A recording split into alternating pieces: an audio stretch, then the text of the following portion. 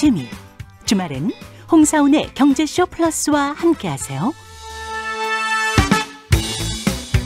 네, 경제와 정의를 따따블로 잡는 주말 홍사훈의 경제쇼 플러스 시작하겠습니다. 미국이 그동안 해왔던 양적 완화, 예, 즉 돈 풀기를 이번 달부터 줄여나가는 이 테이퍼링, 테이퍼링을 시작하겠다 이렇게 공식으로 선언했습니다. 테이퍼링 선언했어도 미국 주가는 계속 상승하고 있는데 한국 주식시장은 어찌 될지 이 내용 좀 오늘 자세히 알아보겠습니다. 유튜브 채널 박종훈의 경제한방 진행자이자 부의 시그널 저자인 박종훈 KBS 기자 나오셨습니다. 안녕하세요. 네, 안녕하세요. 네. 예, 제 후배 기자입니다. 아. 그래요? 아, 네. 그리고 오늘 이 네. 테이퍼링, 테이퍼링 설명 들으려고 음. 오늘 그동안 안 끼던 커플링까지 새로 끼고 나오셨습니다. 우리 네. 경제쇼의 안전자산 네. 오윤혜 씨, 안녕하세요. 안녕하세요 오이네입니다 반갑습니다. 저 이분 많이 뵌 것 같아요.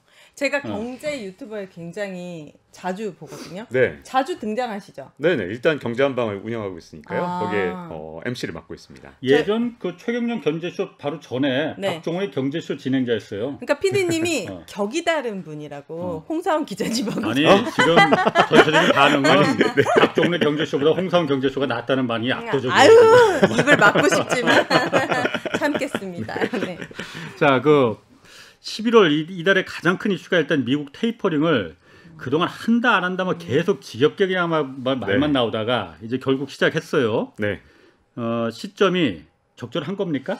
일단 어, 적절한 편이긴 한데요. 약간 늦었다는 생각도 좀 드는 건 왜 그러냐면 이 잭도 씨라고 굉장히 유명한 이 트위터 CEO 있잖아요. 예. 이 부분이 일론 머스크만큼 굉장히 유명한 분인데 예. 미국에서 맨날 트위터로 뭐 쓰니까 그때마다 정말 여론을 좌우할 정도로 굉장히 영향력이 있거든요. 뭐 수염도 그냥 도사처럼 네, 기르고 그러니까요. 어, 독특하더라고요. 그러니까 막 도사 같잖아요. 어. 근데 이분이 어떤 말까지 했었냐면 이제 초인플레이션 온다. 영어로 hyper inflation. 음. 이게 어느 정도냐면 사전적 의미로 한 달에 물가가 50%나 오를 때 초인플레이션이라고 그러거든요. 네. 네. 근데 이런 무시무시한 말을 하면서 이 시장에 공포감을 줄 수 있을 만큼 사실은 약간 저는 늦었다는 생각도 좀 있습니다. 적절하기도 하지만 음. 또 이런 공포감을 줄 수 있는 사람이 또 시장에 공포를 줄 수 있다. 이건 좀 안 좋은 측면도 좀 있었던 거거든요. 세계는 지금 아, 네, 맞습니다. 나오시죠? 네, 네. 나 그거 진짜 좋아하는 프로그램이거든. 네. 오, 자, 대박. 경조씨에 집중해 주시고 어, 네. 커플링까지 끼고 나오신 분이 왜 그러셔? 잠깐 딴 데로 가시죠. 네. 네. 어, 어, 너무 좋아요. TV 그- 보는 것 같아요. 네. 아, 저도 텔레비전 나오는 사람이에요. 아유, 네. 아, 그 네, 초인플레이션. 잭 도시라는 사람이 말한 그 초인플레이션, hyper inflation이 네. 뭐 어, 옛날 독일이 1차 대전 끝나고 그리고 네. 요즘 그 아프리카 뭐 짐바브웨 뭐 이런 몇 개 나라가 빵값이 뭐 하루에 뭐뭐 100배가 뛰었다, 1000배가 네. 뛰었다 뭐 이런 그 시점까지 그러면은 미국이 갈 수 있다 이런 얘기를 한 거였어요. 그렇죠. 근데 이 잭 도시가 그렇게 한 이유는 어. 사실 이분이 비트코인에 워낙 투자를 많이 했잖아요. 예. 그러니까 혹시 비트코인 가격 더 오르라고 아. 이렇게 한 게 아니냐 이런 의심의 눈초리도 좀 있거든요. 근데 여기뿐만 아니라 빌 에크먼이라고 사실 이분 별명이 리틀 버핏이에요. 그러니까 작은 워렌 버핏이다 음. 이런 분이 자기는 인플레이션에 엄청난 돈을 지금 네. 베팅을 했다 이런 말까지 했거든요. 그러니까 약간 좀 안타까운 건 테이퍼링이 아마 조금만 더 빨랐으면 이런 분들이 인플레이션 갖고 이렇게 투자자들을 겁주는 일은 좀 없지 않았을까 예. 이 점에서 좀 안타까운 거죠. 저 주린이 질문 하나 해도 됩니까? 네. 어, 좀 너무 수준이 낮을 수도 있지만 이 테이퍼링과 인플레이션이 어떤 관계가 있는 건가요? 테이퍼링이라는 게 뭐냐면요. 그러니까 네. 일종의 이런 거예요. 점점 가늘어지다라는 뜻이거든요. 뭐가요? 어, 예를 들어서 이 지금 현재 양적 완화로 돈을 푸는데 이걸 점점 가늘어지게 한다. 이게 무슨 말이냐면 현재 양적 완화가 매달 계속되고 있습니다. 돈을 얼마나- 계속 네. 푼다고요? 그 네. 찍어낸다 미국에서. 네. 네. 지금 막 어떻게 하냐? 찍어내. 네. 어느 정도냐면 어. 자기들도 처음에- 얼마나 찍어내는지 모를 것 껴들지 같아. 마시고요. 지금 TV 보고 있거든요. 네. 네, 3조 달러 정도를 한 석 달 만에 미국의 연준이 돈을 풀었거든요. 네. 근데 그걸로 끝난 게 아니라 매달 1,200억 달러를 계속 풀었어요. 그동안. 음. 그러니까 돈을 계속 찍어내고 있다 해도 과언이 아닌데 그러다 보니까 어 이렇게 돈을 계속 1,200억 달러씩 찍다니 이거는 인플레이션 오는 거 아니야? 라는 공포감을 자꾸만 만들었던 거죠. 근데 물가가 테이프- 네. 오른다는 거예요. 그렇죠. 물가가 어. 엄청나게 오를 것이라는 어. 공포감을 자꾸만 심어준 건데 테이퍼링이라는 건 뭐냐면 네. 이렇게 풀던 돈을 한꺼번에 줄이면 이게 예전에 이제 2008년, 2009년에 글로벌 금융위기 왔을 때 한꺼번에 한번 딱 양적 완화 중단한 적이 있었어요. 그랬더니 주가가 막 한 번에 18% 떨어지는 거예요. 근데 어. 우리나라 주가는 24%나 떨어졌었거든요. 네. 그러니까 그때 경험으로 연준이 깨달은 거죠.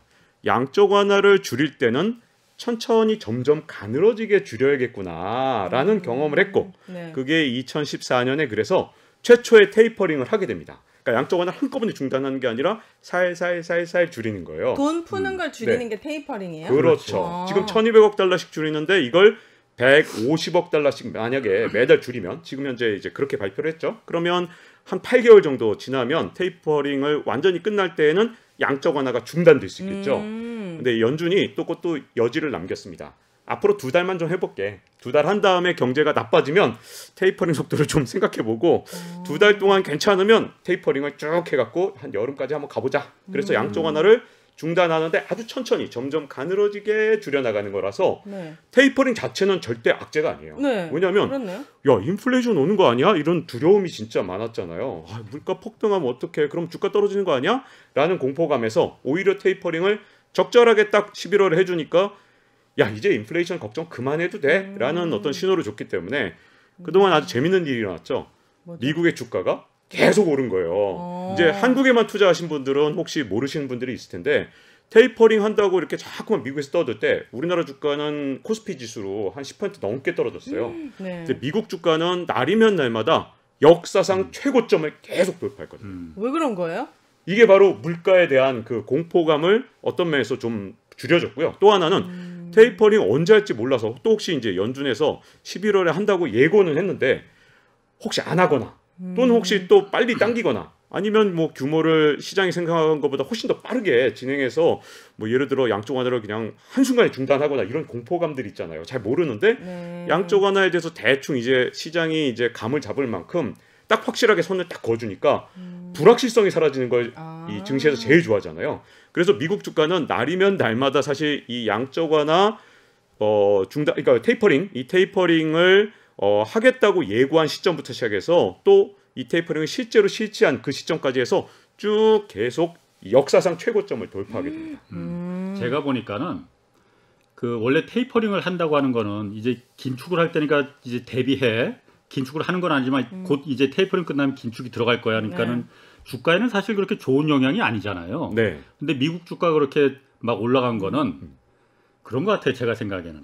제가 이 경제쇼 맞고 나서 3월 달부터 계속 하여튼 테이퍼링 얘기가 나왔거든요. 네, 어, 네. 네. 할것 같이 하면서 또 안. 하고 계속 그냥 연기만 피우는 거야.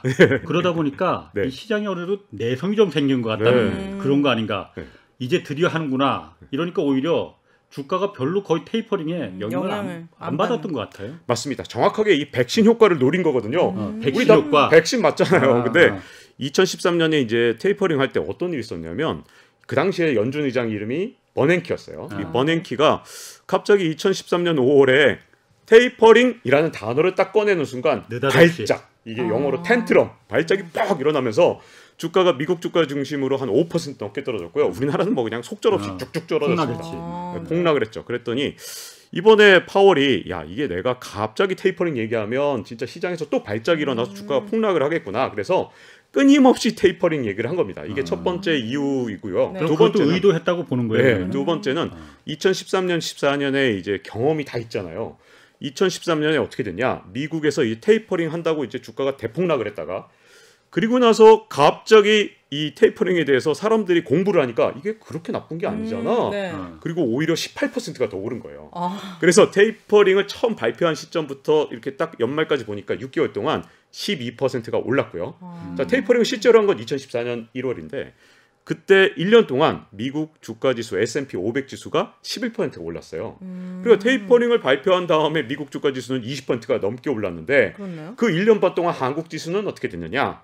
코스피 지수는 10%가 넘게 떨어졌습니다. 왜 그렇죠? 그러니까 얘는 20% 올랐는데 우린 10% 떨어졌어요. 어. 그러니까 이게 지금 다 옛날 경험을 다 갖고 있잖아요. 사람들이 2013년에 또 2014년에 경험을 다 했기 때문에 어 테이퍼링 해도 미국 주가는 잘 안 떨어지네. 음. 그리고 한국 주가는 오 이거는 테이퍼링 했더니 너무 많이 떨어지는구나. 네. 라는 경험을 다 해봤기 때문에 이번에도 시장이 그거에 맞게 착착착 움직여왔던 거죠. 아, 미국은 올라가고 한국은 떨어지고. 그렇지. 아까 윤혜 씨가 테이퍼링하고 인플레이션 그걸 물어봤잖아요. 네. 네. 어쨌든 인플레이션이 지금 막 높아지니까는 테이퍼링을 이제 연- 미국에서도 이제 한다고 하는 거 아니에요? 네. 근데 윤혜 씨 같은 경우도 네. 인플레이션이 뭔지 아마 경험을 못 해봤을 걸. 그게 1970년대 인플레이션이 굉장히 세게 왔었잖아요. 네, 맞아요. 그때는 어, 윤혜 저씨 해본 적 있어요. 몇 달 전에 파가 만 원이었잖아요. 아, 네. 그런 정도 인플레이션이 아니라니까 살인적인. 저 그때 파 못 먹었거든요. 요즘 양상추 아니, 안 넣어주잖아요. 1970년대 태어나지도 않았을 태어나지도 것 같은데. 않았죠. 네. 어. 그리고 우리 양배추 김치도 먹어봤기 때문에 이 굳이 말하자면 김치는 한번 엄청나게 품절돼서 한번 네. 우리가 양배추 다 먹어보지 않았습니까 식당에서? 네. 근데 이게 인플레이션이라는 건 그렇게 김치 하나가 문제가 아니라 우리 주변의 모든 물건값이 다 진짜? 다 오르는 건데요. 그 인플레이션이 정확하게 언제 끝났냐면 80년대 중반에 끝났어요. 그래서 얼마나- 70년대 시작해서 네, 10년 넘게. 그때 예, 어, 10년 넘게. 나는 그걸 경험해 봤잖아요. 아 그래요? 그렇게. 했겠죠. 조상님께서. 아이, 아이 그때 내가 박종훈 기자 내가 업고 다녔어.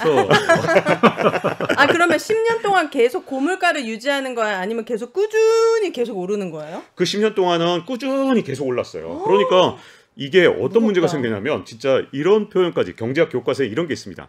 가격표 비용이라고 가격표를 바꿔 붙이는데도 비용이 들더라. 아. 얼마나 물가가 자주 올랐으면 심심하면 가격표를 따로 붙여야 될 정도로 그게 교과서에 있을 정도로 70년대부터 이 80년대 중반까지는 물가가 너무 많이 올라서 그때 진짜 걱정이 많았거든요. 그때 왜 올랐었는데 지금처럼 뭐 돈을 많이 풀어서 올랐, 올랐던 거예요? 뭐 여러 가지 원인인데요. 일단 돈을 많이 푼 거랑 그다음에 60년대 워낙 미국 경제가 정말 좋았고요. 근데 문제점은 그때 적절한 때 이 풀렸던 돈을 좀 회수했어야 되는데 그 당시에 연준 의장 이름은 마틴 주니어예요. 아, 근데 이. 네, 주니어 이분이 어떤 연준 의장이냐면 임기 내내 진짜 칭송을 받던 와 위대한 연준 의장이다 그러면서 굉장히 오랫동안 이 장수한 연준 의장이었거든요. 네. 근데 막판에 그 명성에 취했는지 돈을 이렇게 조금만 호황이면 돈을 딱 걷어들였으면 되는데 그걸 안 했죠. 그랬더니 음. 이분이 이 임기 마지막에 인플레를 딱 일으켰어요. 60년대 말에. 네. 그러니까 나서 이분이 인플레이션에 대해서 한 말이 굉장히 유명한데 내가 인플레이션이란 말이 마구간을 일단 탈출한 다음에 음. 그 말을 갖다 다시 잡으러 가봤더니 이미 도로를 저 멀리 달리고 있더라. 그래서 못 잡겠더라. 음. 이런 말을 해서 무책임하다. 인플레이션이라는 게 연준이 나중에 잡고 싶어도 쉽게 어. 잡지 못한다는 걸 마틴 음. 주니어 연준 의장이 그 당시에 이미 벌써 말로 다 했던 얘기죠. 그 당시에 또 인플레이션에 정말 기름을 부었던 게 네. 진짜 기름을 부었어. 뭐요? 오일 쇼크. 네.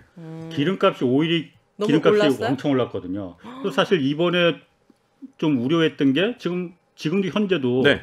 기름값 에너지난이 지금 막 겹쳐서 일어나고 있잖아요. 그렇죠. 그래서 지금 인플레이션을 잡기 위해서 뭐 테이퍼링을 뭐 어쨌든 뭐 11월 달에 하려고는 한다고 얘기는 계속 있었지만은 뭐 한 것 같은데 자 그러면은 이번에 테이퍼링을 하면은 지금 인플레이션 심상치 않다는 얘기 많이 네, 나오거든요. 맞죠. 잡힐 수 있습니까 이거 지금 테이퍼링이? 지금 이 테이퍼링만으로 제가 보기에는 시장의 불안을 잠재우기는 그렇게 쉽지는 않을 것 같아요. 음, 음. 그래서 금리 인상도 함께 할 것이다. 이제 테이퍼링 끝나는 예. 내년 7월이 되면 금리 인상을 할 것이다. 골드만삭스가 그렇게 얘기를 했거든요. 어. 그리고 11월에 한 번 더 한다는 거예요. 내년 네, 내년에 내년에 두 차례 그럼 어, 내년에 미국의 두 차례. 기준금리가 내년 두 네. 차례 올린다. 그렇죠. 그래서 테이퍼링 자체는 제가 보기에는 주가가 떨어질 이유가 전혀 없습니다. 왜냐하면 음. 여전히 돈을 풀고 있는데 그 속도를 점점 천천히 풀겠다는 얘기니까 음. 사실 뭐 그 자체가 과연 주가가 미국 주가를 기준으로 한국 말고요. 네. 한국은 그때도 떨어졌고 지금도 떨어질 가능성이 좀 더 크지만 이제 미국만 얘기하자면 주가가 떨어질 이유가 없는데 문제는 금리를 인상하는 건 굉장히 다르거든요. 음. 이 굉장히 저명한 투자자 중에 폴 튜더 존스라고 이분 이 나올 때마다 뭐 legendary 뭐 투자자 이라고 전설적인 어, 투자자 네. 이렇게 자막을 CNBC 같은 데가 넣거든요. 근데 CNBC에 나와서 미국 방송에 나와서 이 폴 튜더 존스가 지난달에 진짜 끔찍한 얘기를 했어요. 뭐라 그랬냐면 음. 지난달이요? 네, 지난달에 미국이 만약에 금리를 올려서 기준 금리를 지금 0에서 0.25%거든요. 요걸 정상 금리라는 건 연리 2.5%를 뜻하는데 연리 2.5%까지 금리를 올리게 되면 미국 주가는 음. S&P 500 지수 기준으로 35%가 폭락을 할 것이다. 무섭죠. 이게 근데 그 어, 근데 폴트존스는 사실은 뒤에 어떤 말이냐면 그러니까 연준에서 금리 쉽게 못 올릴 걸 이런 뜻이에요. 아, 금리를. 네네. 근데 인플레이션은 오더라도 금리를 쉽게 올리진 못할 거야라는 의미가 있고요. 인플레이션도 이제 이 정도가 있어요. 뭐냐면 일단 인플레이션 중에서 연준이 가장 좋아하는 인플레이션은 한 해에 2% 오르는 겁니다. 물가가요? 네, 물가가. 네. 물가가 너무 안 올라도 문제예요. 물가가 그렇지. 너무 많이 오르면 안 오르면 이게 또 기업이 장사하기가 너무 힘들거든요. 네. 사람들이 물건을 안 사. 그렇죠. 음. 왜냐하면 디플레이션이다. 그럼 컴퓨터 가격이 지금 100만 원이에요 올해. 근데 매년 10%씩 떨어져. 내년 안 되면 사지. 90만 원. 어. 내후년에 80만 원. 컴퓨터 잘 삽니까? 잘 안. 저 사실 컴퓨터 이게 TV 이런 거 있잖아요. 야 이거 내년에 사면 훨씬 싸질 텐데 이런 생각 되게 많이 들잖아요. 네. 이런 물건들은 소비가 오히려 이제 인플레이션이 올 때 좀 소비가 되거든요. 그래서 음. 한 해에 2% 오르는 거 제일 좋아요. 이거 용어도 따로 있어요. 리플레이션이라고 부릅니다. 리플레이션. 네, 요 정도 네. 오르면. 음. 그리고 인플레이션 중에서 mild 인플레이션이라 그래서 3%보다 미만으로 오르면 2.999까지 오르면 mild 인플레이션. 이것도 음. 괜찮아. 좋아요. 이거 좋아요. 아, 어. 괜찮은 정도가 아니라 심지어 주가 오를 수도 있죠. 음. 우리가 두려워하는 인플레이션은 4에서 5% 이상 그거보다 더 많이 오르는 거거든요. 네. 근데 지금 물가가 어떻게 되고 있냐? 지난달에 물가가 미국에 얼마 올랐는지 아세요? 모르죠? 5.4 올랐습니다. 5.4. 한달 한- 만에요? 네, 아니 지, 저 진, 작년보다 지난해보다 어. 5.4가 올랐으니까 근데 그게 지금 한 네. 다섯 달째 계속 그 수치를 네, 오르고 있는 거잖아요. 그렇죠. 어머. 음, 그래서. 인플레이션이 지금처럼 계속 될 것이냐 안 될 것이냐가 모든 사람이 지금 석학들이 막 싸우고 있어요. 아, 계속 된다니까? 아니야 잠깐이야 내년 되면 나아져 이게 막 싸우고 있는데 이 두 양진영이 근데 갑자기 파월이 배신 때렸죠.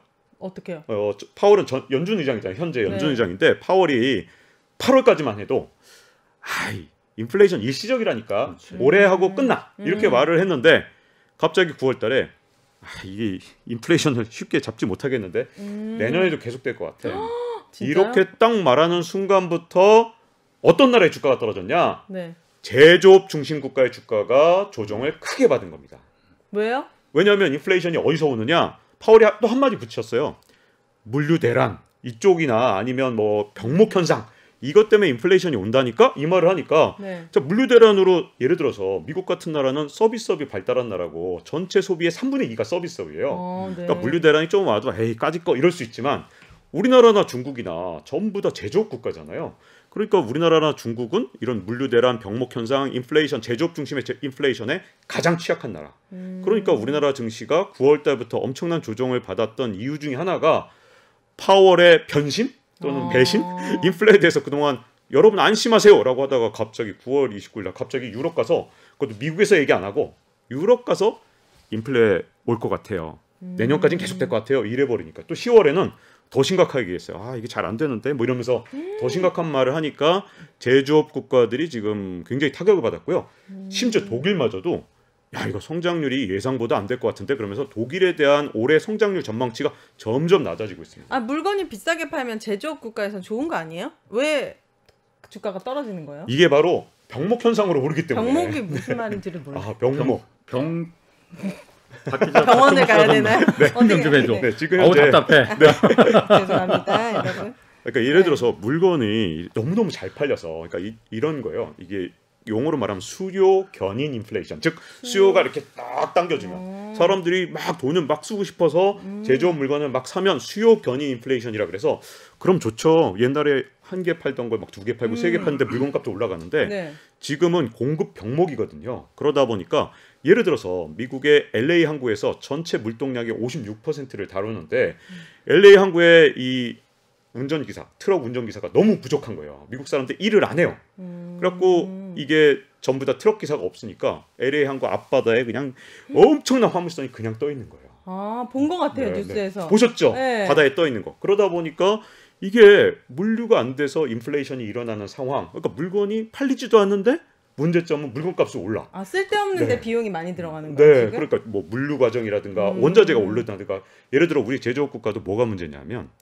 중국도요 이런 거예요. 생산자 물가라 그래서 소비자 물가가 아니라 이렇게 생산을 하는데 그 이런 물가 지수 이게 올라 버리니까 문제는 뭐냐면 이 생산 비용이 막 늘어나는 거예요. 근데 이거 음. 물건값에 전가를 딱 해버리면 되는데 그건 못한 상태에서 원자재 가격만 왕창 올라 버리니까 또 인건비는 왕창 올랐는데 이 물건값은 이걸 반영을 잘 못하니까 또 역시 문제가 되고 그러니까 음. 제조업 국가들이 점점 더 어려움에 처하면서 한국하고 중국 증시가 미국 증시를 못 따라잡는 현상이 최근 2, 3개월 동안 계속 빚어지고 있거든요. 음. 병목이라는 게 그러니까 병의 목, 그 음. 병의 목, 목. 조, 목을 졸라. 그러니까 목이 좁아. 병목이 좁아지잖아 그러니까 네. 여기서 막 많이 이렇게 들어왔는데 음. 나가는 입구가 병목이 이제 좁아지니까 네. 못 나간다 이거지. 음. LA 앞바다 항구에 음. 많은 배들이 거기 물건을 이제 수출하려고 접안을 했는데 항구가 못 들어오는 거야. 음. 목이 좁아지니까. 네. 하여튼 그 정도로 네. 어.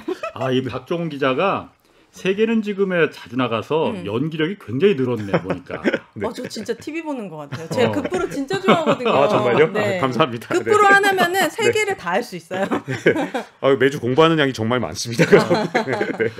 그러면은 한국 증시가 미국 증시는 사상 최고치로 연일 이렇게 네, 테이퍼링 한다는데도 올랐는데 네. 음. 한국 증시가 안 오른 거는 그 이유 때구만 이, 이유 때문이구만요. 그러니까 제조업 네, 서비스업은 호황이고 제조업은 내려갈 것이다. 네. 음. 자 이제 두 가지로 좀 이걸 좀 나눠서 얘기를 말씀드릴까 하는데요. 일단 2014년에 왜 우리나라 증시는 미국 증시를 못 따라가는가? 네. 미국은 20%나 오르는 1년 반 동안 우리는 왜 10%가 떨어졌는가? 이 얘기를 제가 몇 달 전부터 계속 드리거든요. 테이퍼링 하면 이게 우리나라하고 미국하고 디커플링이 됩니다. 이제 미국 증시를 따라가기가 쉽지 않아요. 그 말씀 드렸는데 그 이유는 뭐냐면요. 테이퍼링 전에 양적 완화라는 걸 할 때는 이런 겁니다. 무빙 워크. 무빙 워크. 마트 가시면 많이 타보셨죠? 네. 지금까지 양적 완화를 한 건 무슨 말이냐면 전 세계 경제가 무빙 워크를 타고 쫙 올라가는 거예요. 음. 왜냐하면 돈을 풀어서 이 홍수의 돈의 힘으로 쫙 무빙 워크를 움직이는 건데 음. 자 이제 테이퍼링을 하고 긴축을 한다는 건 뭐냐면 무빙 워크의 속도가 점점 늦어지는 게 테이퍼링이고 긴축까지 가게 되면 어떻게 되냐면 이제 무빙 워크가 반대로 내려가는 겁니다. 어. 자 무빙 워크가 위로 올라갈 때는 그야말로 경제 성장을 하는 미국 같은 나라나 아니면 경제 성장을 좀 못하는 뭐 브라질 같은 나라나 다 같이 무빙 워크에 타고 있으면 뒤로 무빙 워크보다 더 빨리 뛰지만 않으면 음. 다 같이 올라갔단 말이에요. 네. 근데 이제 테이퍼링을 하게 되면 무빙 워크가 멈추게 되니까 이제 앞으로 또는 뒤로 가게 되니까 미국보다 성장을 늦게 하는 나라들의 주가는 떨어집니다. 어. 이게 굉장히 중요해요. 왜냐하면 미국 경제는 언제나 미국 연준에서 미국 경제 상황을 보면서 운전대를 잡고 야 미국 경제 잘 나가네 미국 경제 속도에 맞춰서 테이퍼링을 하는 거지 음. 브레이크를 밟는 거거든요 테이퍼링은 네. 근데 브레이크를 밟을 때 미국 경제가 못 나갈 것 같으면 살살 밟고 미국 경제가 좀 잘 나갈 것 같으면 확 밟는 거잖아요 네. 근데 미국 경제만 보지 연준이 한국 경제나 뭐 브라질 경제를 보면서 하진 음. 않잖아요 네. 그래서 어떤 일이 생겼는지 과거에 이제 기억을 되짚어 보면 음, 네. 바로 그리스 위기 혹시 기억나세요? 네. 남유럽 위기, 피그스 그럴 때 그리스 하면서 망했다고 네. 막. 음. 포르투갈, 뭐 이탈리아, 뭐 그리스 망했다고 난리쳤었죠. 네. 그때 미국에서 조금이라도 긴축을 하면 미국보다 잘 못 나가던 나라 중에 제일 약한 고리는 심지어 망해버려요. 그러다 보니까 지금 2013년, 14년에 무슨 일이 있었냐면 그때 미국 경제가 이렇게 성장하는 속도, 경제가 회복하는 속도에 못 따라갔던 나라, 우리나라. 우리나라 왜 그랬냐면 우리가 미국한테만 물건을 파는 게 아니잖아요. 우리나라 전체 수출의 한 5분의 1 정도만 미국에다 하니까 나머지는 개도국에도 하고 유럽에도 하고 하잖아요. 네. 근데 유럽 경제 너무 안 좋고 음. 그때 개도국 경제 너무 안 좋으니까 우리는 거기에 가중 평균을 해야 되잖아요. 네. 그 평균 삼으니까 미국 경제만 혼자 막 뛰쳐나갈 때 우린 다른 나라 평균을 같이 두드려 맞으니까 수출해야 되니까 아. 그래서 못 나갔던 건데 자 이게 이제 일단 2014년의 상황입니다. 그때 안전한 나라는 어디예요? 미국 경제와 상관없이 그래도 더 잘 나가는 성장이 어, 좋다 많았던. 좋아. 오 어, 그때 제일 좋아, 안전했던 좋아. 나라는 어. 미국하고 영국 정도밖에 없었어요. 그러다 독일 그러니까 이런데 좋았지. 독일, 독일 독일 영국. 좋았죠. 독일 좋았는데 독일이 이제 잘 나갔던 이유 중에 하나가 유럽 연합에 통합을 함으로써 사실은 어, 남유럽을 잘 활용한 겁니다. 음. 그러니까 이제 이게 독일이 그동안 잘 나갔던 비결이거든요. 그래 남유럽 사람들이 되게 열받아 있잖아요. 이씨 독일 그러면서 막,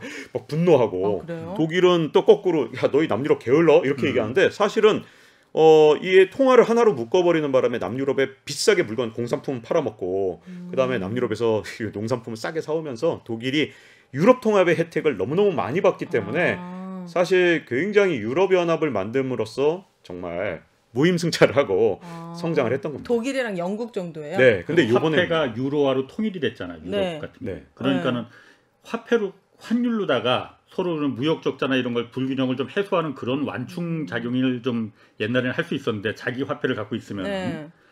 유럽은 전체 유로화로다가 통일이 돼 버렸으니까 네, 이게 완충이 안 돼. 불균형이 완충이 안 되는 거야. 네, 독일은 막 수출만 자동차 만들고 뭐 기계 제품 만들어 수출하면은 이익을 잔뜩 올리는데 그리스는 뭐 이게 딱히 뭐 관광 산업도 좀 찌그러졌고 네. 음. 물건 만들어 수출할 건 없고 그러니까는 일방적으로 이제 그리스가 어 우리 억울해 이렇게 될 수밖에 없었던 거죠. 아. 자 일단 그래서 2014년하고 비슷하게 봤을 때 우리한테 약간 핸디캡이 하나 작용되는 거고요.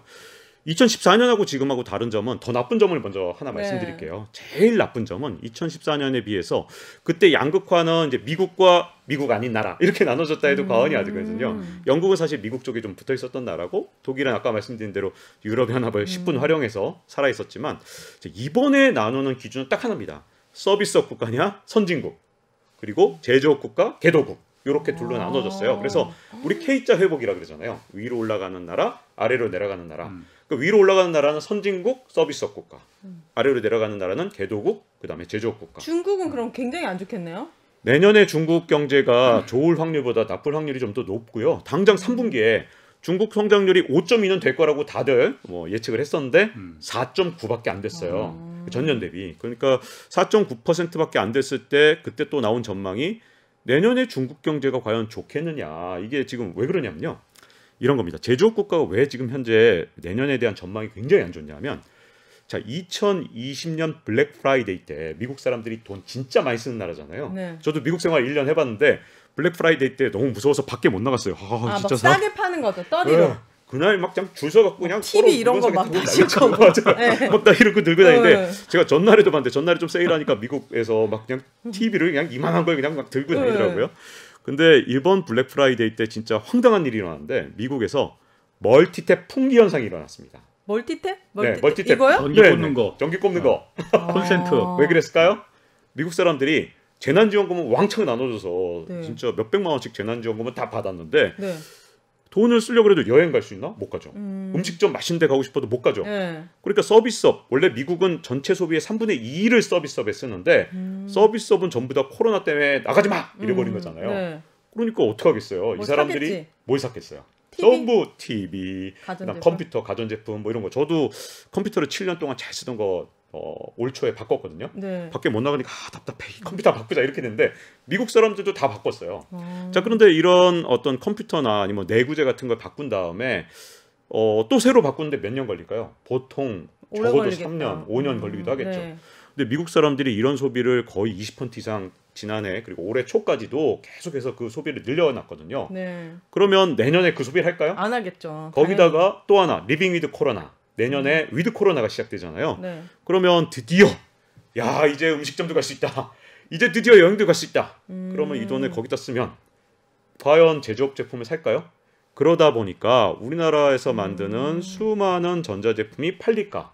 그리고 그 전자제품에 들어가는 반도체가 팔릴까? 어. 그리고 대표적으로 이제 서버 이게 모든 어떤 유튜브라든가 우리가 지금 이제 유튜브로도 이거 송출하잖아요. 네. 근데 유튜브가 지난해 하반기에 두 번이나 뻥 났었는데 그 아. 이유가 유튜브 서버 증설을 제때 못해서거든요. 음. 근데 그 서버 증설을 올 초에 왕창 발주했고 그 필요한 메모리 반도체도 다 사놓은 상태예요. 아. 그러다 보니까 내년에 이제 제조업 국가와 이 서비스업 국가의 양극화는 피하기가 좀 어려운 상태라 그렇네. 이게 2014년보다 더 나쁜 점입니다. 좋은 점. 좋은 점.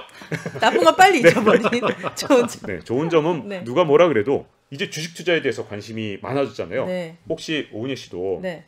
2014년에 주식 투자에 관심 있었어요? 전혀 없었죠. 없었죠. 네. 지금 이제 저변에 굉장히 많은 분들이 이제 주식 투자에 관심이 있고 아직도 어 나만 이거 가만히 있다 벼락거지 됐네라고 생각하시는 분들이 좀 있기 때문에 그게 어떻게 보면 증시의 저변 확대. 음. 물론 그게 또 단점일 수도 있고 장점일 수도 있는데 사실은 묘한 측면이 있어요. 너무 많이 들어가 있어서 이게 장점이지 단점이지 좀 헷갈리지만 어쨌든 저변 확대가 돼 있다는 점, 관심과 음. 재테크에 대한 관심, 그리고 돈을 아주 많이 갖고 계시는 어 50, 80 세대가 또 이분들이 퇴직 과 이런 걸 통해서 자산 관리를 좀 해야겠다는 생각이 좀 많이 들었다는 거. 음. 그래서 주식 투자 비중이 아직 우리가 선진국 대비 굉장히 낮은 편이다. 여전히 음. 여전히 낮은데 혹시라도 좀 더 늘릴 수 있는 여지는 아직 남아 있다는 점인데 나쁜 점이기도 해요. 동시에 왜냐하면 또 그렇게 많이 들어가 있으니까 사실 내년에 혹시라도 이분들이 또 주식 초, 초보니까 주가가 막 한 1, 20% 떨어지면 혹시 주식시장을 막 환멸을 느껴서 떠날까봐 약간 음. 걱정이 되기 때문에 양쪽 측면이 있긴 하지만 어쨌든 대중이 이제 주식시장에 관심을 갖고 있다는 점이 일단은 크게는 좋은 점은 아닌 거. 뭐고요. 확 와닿는 게 아닌 것 같아요. 좀 애매하죠. 또 그럼- 다른 거 없나요? 네, 또 하나 더 있습니다. 네. 그 그때는 왜요? 1년 반 동안 네. 제가 우리나라 코스피가 테이퍼링 할때 네. 10% 떨어졌다 그랬잖아요. 네. 근데 우리나라 증시가 지금 테이퍼링 예고한 이후에 벌써 11% 이상 조정을 받았습니다. 오늘 지금 녹화하는 날짜 기준으로. 네. 그러다 보니까 음, 사실은 선 반영이 많이 돼 있어요. 음. 그러니까 주식시장에서 가장 장점은 주식이 싸다는 건데 어. 은근히 많이 반영돼 있기 때문에 왜냐하면 이게 사람들이 2013년, 14년 경험이 다 있기 때문에 아 그러면 테이퍼링하면 디커플링 시작되잖아. 이걸 주식 고수들은 다 알고 있었거든요. 아. 그 저는 가끔 증권사에서 우리나라 증시가 21년 말이 되면 막 3,700 간다 그럴 때마다 이상하다. 테이퍼링 했을 때 우리나라는 주가가 떨어졌는데 왜 저분들 저렇게 자신 있게 말하지? 저는 좀 많이 이해가 안 갔고 네. 제가 되게 웃긴 게 전 사실은 올해 이제 지난해 같은 경우는 제가 경제쇼에 나왔을 때도 그때 홍사원 선배가 아니셨거든요. 아. 네. 어. 그때 2,500일 때 3,000 넘을 수 있다. 주가는 아. 계속 오를 수 있다라고 말씀을 드렸었는데 올해 한 3월 정도부터는 아 이제 조심하셔야 된다. 이제 포트폴리오를 좀 구성하셔야 됩니다. 그러면 음. 댓글이 달립니다. 뭐라고 달리냐면 저놈의 비관론자. 아. 비관론자 절대 부르지 마라. 저런 음. 놈 따라가다가 어. 돈다 잃어버린 아저 돈 벌 기회를 다 놓친다. 네. 벼락거지 된다. 아. 그래서 제가 말씀드린 건 주식을 팔라 그런 것도 아니고 포트폴리오를 해서 이제는 주식에 100%나 200% 투자는 위험합니다. 음. 주식 투자를 할 때 이제 과거처럼 언제나 이제 저는 이제 권하는 방식이 이제 본인의 어떤 자금 여력이나 또는 나이 연령대에 따라서 음. 30에서 한 70%만 주식을 보유하고 나머지는 현금 특히 달러를 보유해야 된다라고 달러. 이제 말씀을 드려요. 그래서 네.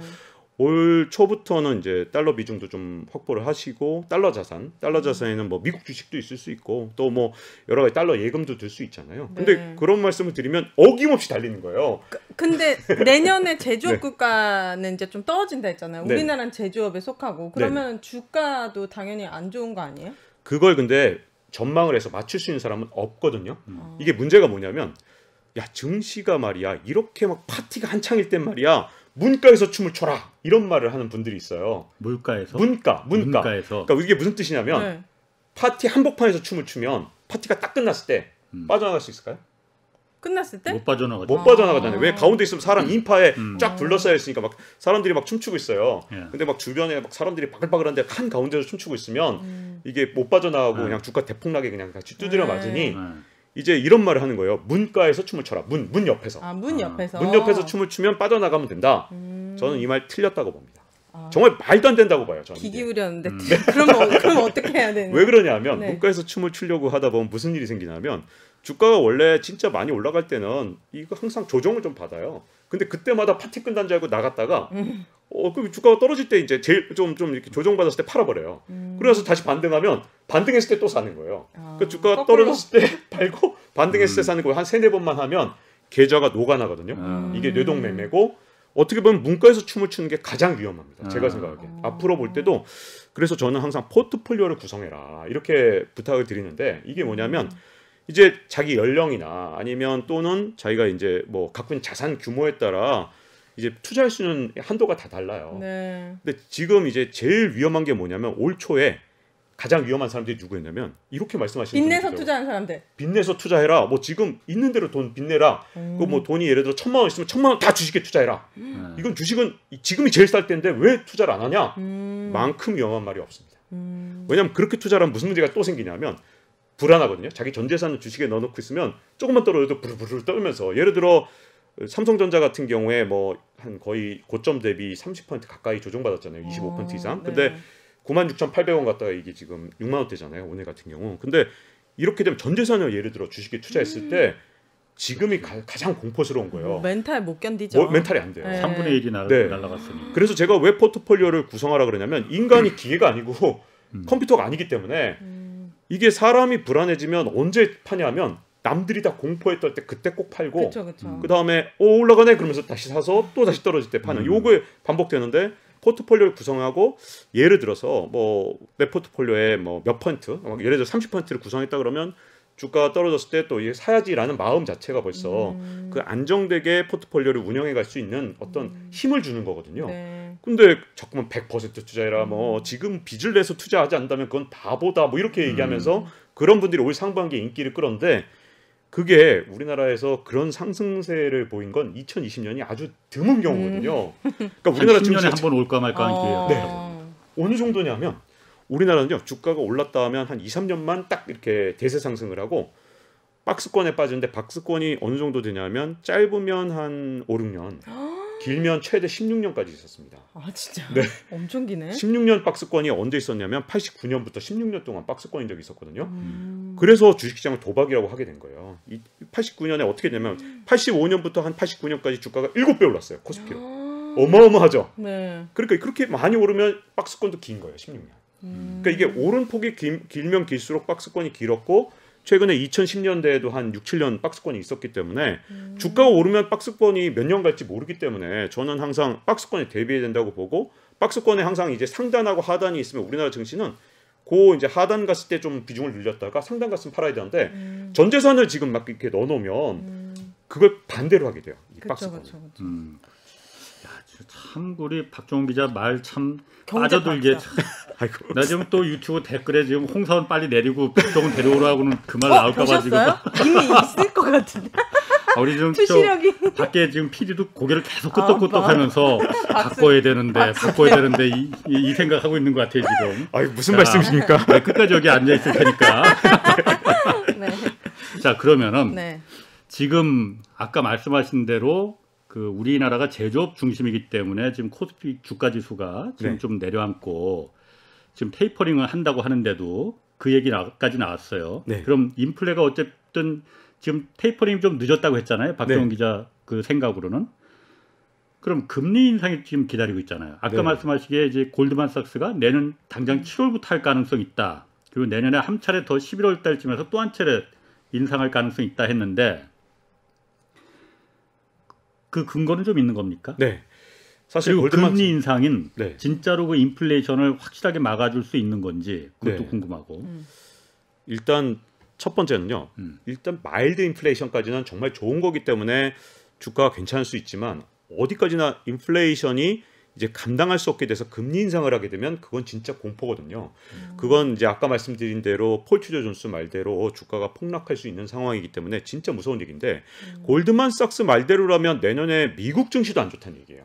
금리 인상에 금 자만 나와도 안 좋은데 이제 두 가지를 제가 여러분들께 말씀드릴 수 있는데요. 첫 번째는 요번에 tapering을 하기 전에 정말 지겨울 정도로 파월이 테이퍼링 한다니까 음, 한다니까 한다니까 이렇게 우리한테 연기력 좋아. 음.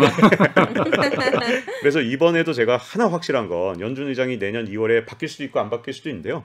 어떤 연준 의장이 오든 이번에도 금리 인상 한다니까 한다니까 이렇게 한 세 번쯤은 음. 경고하고 할 건데 네. 금리 인상은 테이퍼링하고는 다릅니다. 금리 인상 한다는 말이 오면 금리 인상 텐트럼이 일어날 가능성이 굉장히 커요. 텐트럼이 뭐예요? 발작. 발작. 아. 그래서 주가가 급락을 할 수도 있어요. 그 금리가 인상되면 주가가 하락하는 거는 이해했는데 네. 금리 인상하고 인플레이션은 무슨 관계예요? 금리 인상을 하게 되면 이제 물가가 계속 오르잖아요. 그러니까 네. 사람들이 이제 물가가 오르는 거 돈이 너무 많이 풀려서인데 이제 금리를 인상하게 되면 이제 이런 거예요. 제가 이제 한 100만 원이 있어요. 은행이 금리를 한 3%줄 때는 100만 원 중에 한 30만 원을 이제 예금을 하고 있었어요. 근데 금리가 10%가 된 거예요. 음. 그럼 내가 오늘 돈을 쓰는 것보다 아, 그래? 그러면 내가 100만 원인데 70만 원을 예금해둬야지. 나중에 이 10%로 금리를 이 준다니까 예금을 많이 해둘수록 나중에 더 많은 돈을 쓸 수 있겠구나라고 생각하면서 예금을 늘리겠죠. 어. 그럼 당장의 소비는 줄겠죠. 소비가 그렇게 줄면 수요 견인, 아까 전에 수요로 인한 그 물가 인상이 줄어들겠죠. 음. 그렇기 때문에 금리를 올리면 시중에 있는 돈을 흡수해서 그게 물가를 올라가는 걸 좀 막아주는 힘이 있습니다. 음. 자 그런데 지금 금리 인상이라는 게 굉장히 무서운 게 한 번만 올려도 굉장히 무서운 게요. 0에서 0.25%예요 지금 기준금리가. 네. 근데 만약에 한 번만 올리면 0.25라고 보고 이걸 0.5로 올리는 거잖아요. 금리가 두 배로 오르는 거거든요. 네. 이게 무서운 게 이제 은행에 예금하는 금리가 두 배가 되는 것이고 돈을 빌린 음. 사람 입장에서 잘 생각해 보세요. 내가 100억 원을 빌린 어떤 사업가예요. 근데 1억 원씩 이제 뭐 금- 이자를 부담하고 있었는데 한 해에 금리가 이제 0.25%만 올라도 두 배가 되는 거니까 얼마를 내야 되죠? 이요? 2억. 이게 왜 무섭냐? 금리가 워낙 낮은 상태에서는 금리를 조금만 올려도 두 배, 세 배, 네 배가 되는 거기 때문에 음. 자 2.5에서 5%가 되면 그거는 금리가 두 배밖에 안 되는 거지만 지금 0에서 0.25를 2.5로 올리면 금리가 10배가 되는 겁니다.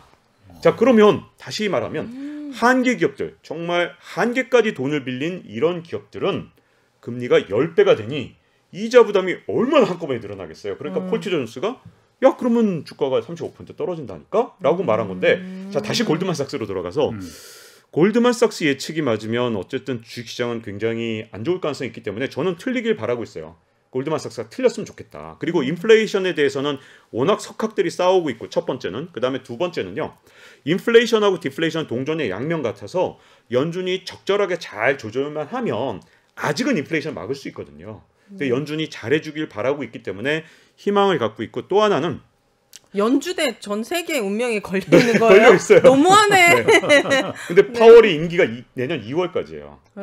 어, 치사하게 2월에 떠나버릴 수도 있기 때문에 아, 네. 겁납니다. 이분은 지금 아, 2년만 지나 2월 내년 2월만 지나면 이제 둘 중에 하나죠. 연임을 하든지 하여튼 연임을 못 하든지 연임 만약에 못 해도 나 땐 잘했는데 야 새로운 연준이 잘 못하네 의장이 음. 이래 버릴까봐 지금 되게 두렵고 연임을 해도 참 두려워요 여러 가지 왜 해필이면 임기가 내년 2월일까 이분 임기가 좀 뒤였으면 더 좋았을 텐데 하는 생각이 음. 왜냐하면 당신이 내년도 책임지고 나가세요 이랬으면 그러니까요. 좋겠는데 음. 내년 2월이라 약간 두렵긴 하지만 이제 좋은 점을 하나 말씀드리자면 네. 골드만삭스가 예측을 거시경제에서 틀리기로 아주 유명합니다. 왜냐하면? 네, 어. 세계 최고의 투자 은행인데도 불구하고 네. 옛날에 이제 유가가 많이 오를 때 1배럴에 200달러 넘는다고 난리 쳤어요. 진짜 설레발을 쳤는데 음. 유가는 그 뒤로 골드만삭스의 전망 나온 뒤로 뚝뚝 떨어졌어요. 아. 그리고 두 번째 금값 전망을 계속 틀려요. 음. 그러니까 골드잖아요. 그 골- 금값 네. 전망. 근데 골드만삭스가 골드 전망은 못한다. 아. 이름은 골드만삭스인데 왜 이렇게 못하냐 이런 네. 말도 농담을 할 정도로 예측을 많이 틀려서 주가 예측은 맞았나요 그동안? 고등학 주가 예측, 주가 예측은 조금 맞은 맞은 편이긴 하죠. 근데 네. 근데 골드만삭스가 예측을 하도 많이 틀리는데도 돈을 많이 버니까 일부러 그러나 골드만삭스는 증권 회사예요? 네, 투자은행입니다. 투자은행. 투자은행. 아 근데 네. 너무 크고 커서 이렇게 영향력이 있는 거예요? 우리나라. 뭐 네, 미래에셋 이런. 것처럼? 네, 그렇죠. 우리나라에서 우리는 미래에셋이 돈이 워낙. 크니까. 네. 음. 자, 그래서 약간 이번에도 틀려주길 바라고 있긴 한데 사실은 무게추는 살짝 인플레이션으로 조금씩 넘어가고 있어요. 왜냐하면 특히 이 무게추의 중심에 옐런 파월 진영, 즉 인플레이션 안와라는 주장이랑 그다음에 래리 서머스라고 굉장히 유명한 학자이자 관료 출신의 학자가 있고 그다음에 이쪽 진영에 이제 뭐 여러 이제 인플레이션 이 주장하는 사람들이 있잖아요. 네.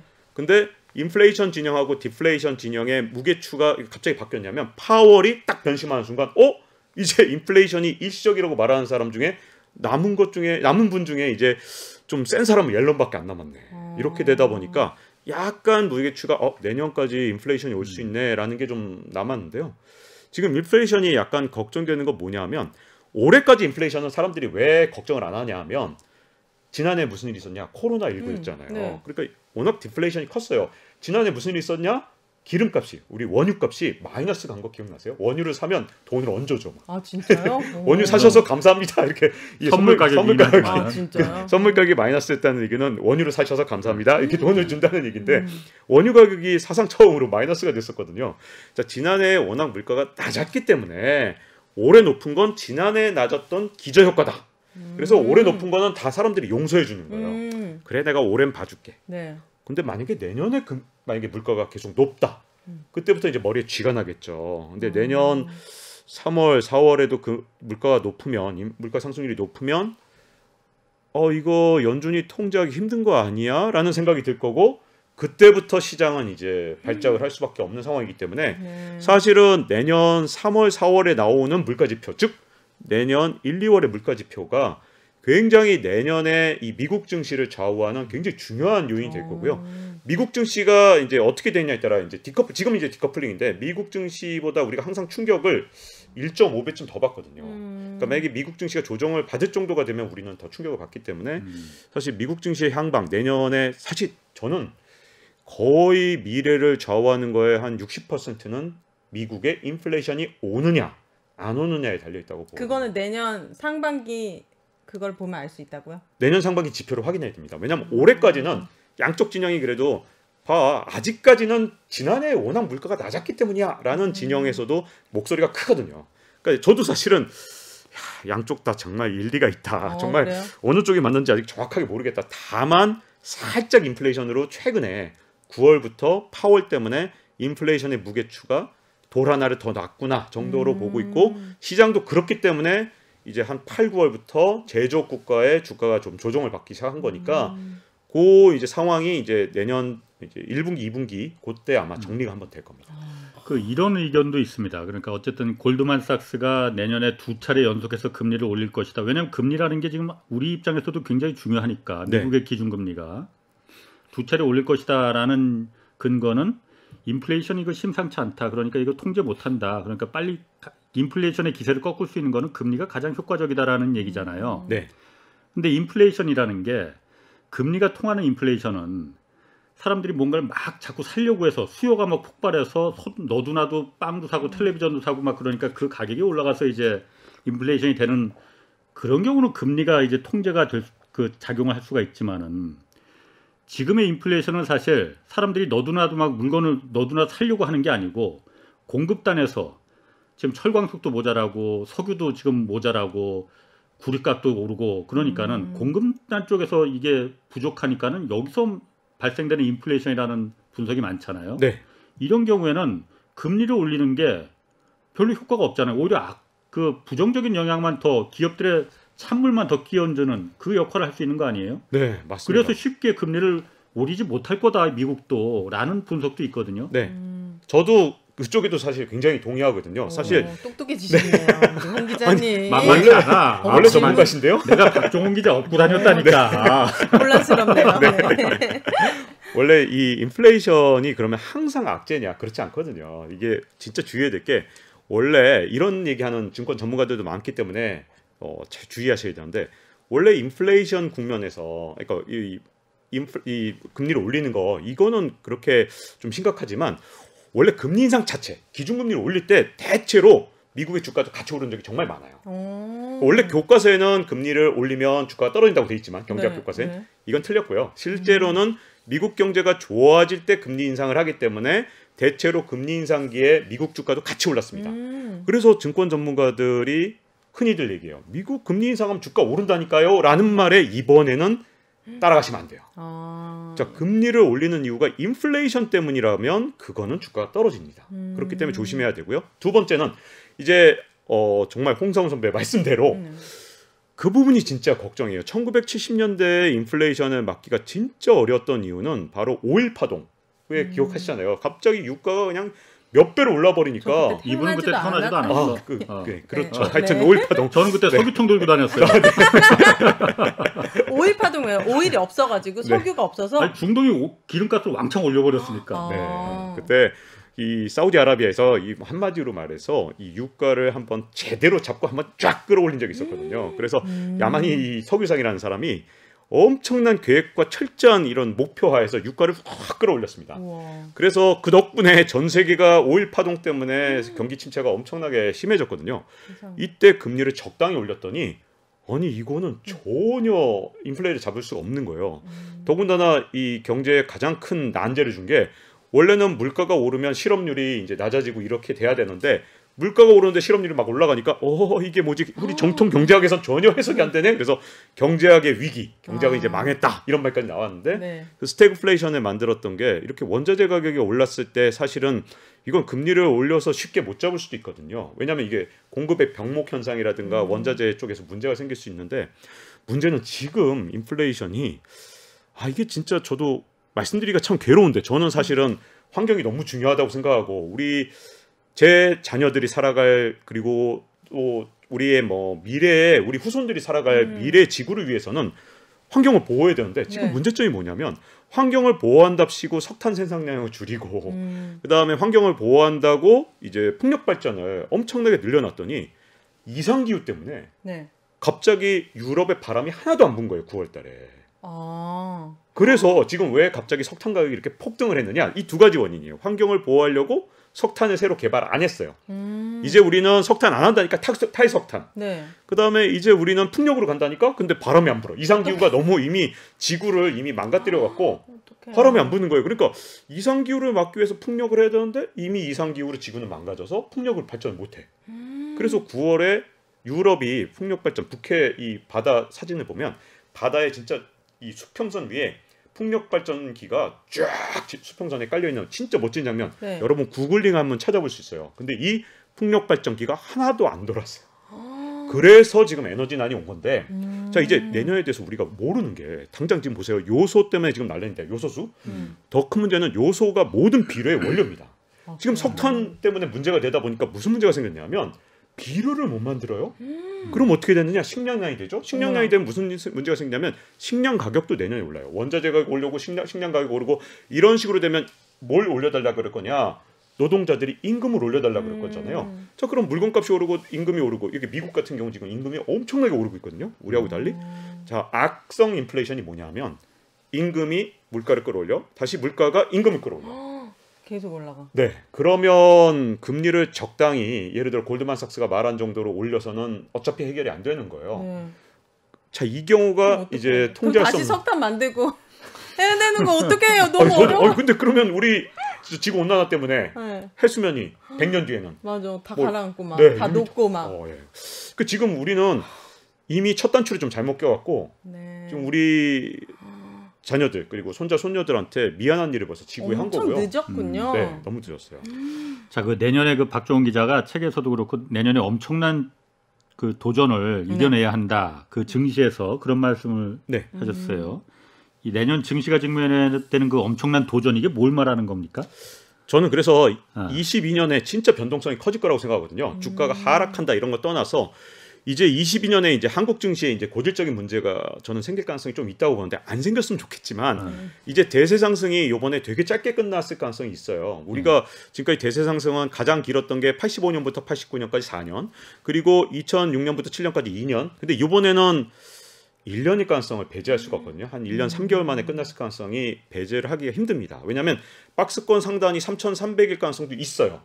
왜냐하면 전고점을 다시 뚫어서 이제 3,300을 넘어가면 아 박스권 상단이 올라갔다고 하겠지만 잘못하면 상단이 3,300이고 이제 바- 새로운 박스권이 시작된 거라면 이제 22년에 우리나라 증시는 이 박스권 상단과 하단을 확인하기 위해서 굉장히 크게 출렁거릴 가능성도 배제할 수 없습니다. 제 얘기는 박스권이 된다고 아직 저도 몰라요. 왜냐하면 이렇게 짧게 끝난 적은 저도 없어서 음. 아니기를 기원합니다. 그리고 우리 기업들이 훨씬 더 장사를 잘하고 뭔가 혁명적인 혁신을 만들어주길 바라지만 아니면 박스권이기 때문에 이 확인 과정에서 상단과 하단이 확인되지 않았을 때 섣부르게 이제 올해 초에 투자를 처음 시작하신 분이 뇌동매매를 하지 말고 음. 포트폴리오를 자기 연령과 앞으로 향후 들어올 수입 자기의 자산에 맞게 정확하게 아 나는 앞으로 주가가 20% 빠져도 혹은 박스권 상단이 3,700이 되더라도 내가 흔들리지 않은 어떤 포트폴리오를 만들어 놓고 만약에 주가가 20, 30% 빠지면 나는 그때 달러로 바꿔놓은 걸 이렇게 원화로 사면서 주식에 들어간다든가 이런 계획을 세워놓을 필요가 있고요. 그래서 제가 최근의 경제쇼부터 이제 홍사원의 경제쇼에 나올 때까지 항상 강조한 거 뭐요?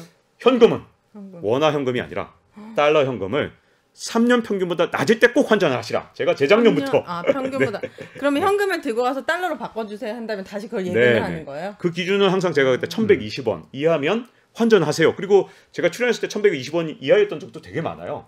그리고 그렇게 환전을 해뒀다가 어 그걸 이제 필요할 때 주가가 우리나라 주가가 조정받을 때 항상 환율이 올라가요. 그러니까 그때를 이용해서 그 환율전을 다시 원화로 환전해서 하면 우리나라 외환 시장도 안정시킬 수 있고 이거 외국도 할 수 있는 거죠. 그리고 동시에 본인의 자산도 지킬 수 있는 기회니까 앞으로 만약에 이제 환율 전망 증권사에 자꾸만 해놓으면 믿지 마시고 환율 전망은 누구도 못하니까요. 항상 3년 평균보다 낮으면 그때 꼬박꼬박 달러 자산을 늘려놔서 네. 뭐 주식이든 뭐 여러 가지 방식이든 그 미국의 어 자산에 투자해서 포트폴리오 다양화 해 놓으면 어떠한 위기에도 좀 방탄 방탄 포트폴리오라고 할수 있죠. 그런 포트폴리오를 만들어 놓는 게 중요합니다. 그럼에도 불구하고 어 끝났네요. 아니 아니 조금 더 하시면 아니. 그럼에도 불구하고 그래도 그 내년에 좀 위험하지만 네. 그래도 이런 종목들은 좀 괜찮다라는 게 있을까요? 10초만. 네. 인플레이션에 강한 종목은요. 가격을 남들한테 떠넘길 수 있는 종목이 가장 강한 종목입니다. 그건 어 예를 가격을 들어서 떠넘겨? 음. 네. 네. 뭐 알아요? 모르잖아요. 거기까지만. 이제 시간 다 됐어요. 아, 네. 너무 아쉽다. 자, 다음에 하겠습니다. 네. 빨리 답 알려주세요. 그럼 뭐냐고요? 그런 종목들은 전부 다 이- 일종의 독점 플랫폼을 갖고 있거나 아. 아. 니면이 브랜드에 대한 로열티를 갖고 있는 기업들 그런 기업들이죠. 음, 다음에 또 나와주세요. 네. 저랑 좀 잘 맞는 것 같아요. 저하고도 좀, 플러스랑. 저하고도 좀그잘좀 합을 맞춰보자. 아 알겠습니다. 노력하도록 하겠습니다. 자 여기까지 하겠습니다. 오늘 박종훈 KBS 기자 그리고 오윤혜 씨 두 분 고맙습니다. 네, 네. 고맙습니다. 자 주말에는 경제와 정의를 따따블로 잡는 홍사원의 경제쇼 플러스 마치겠습니다. 고맙습니다. 감사합니다. 감사합니다.